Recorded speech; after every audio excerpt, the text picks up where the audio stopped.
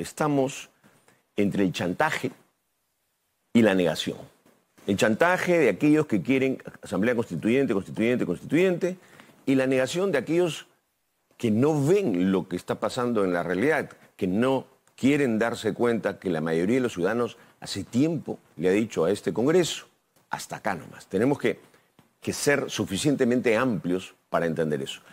La Presidenta de la República lo que ha hecho hoy es presentar un proyecto que va en la línea de lo que nosotros propusimos desde el año pasado y nos parece correcto y ojalá esto haga reflexionar a las bancadas, sobre todo a las que están en la negación, no a las que están en el chantaje radical, ¿no es cierto?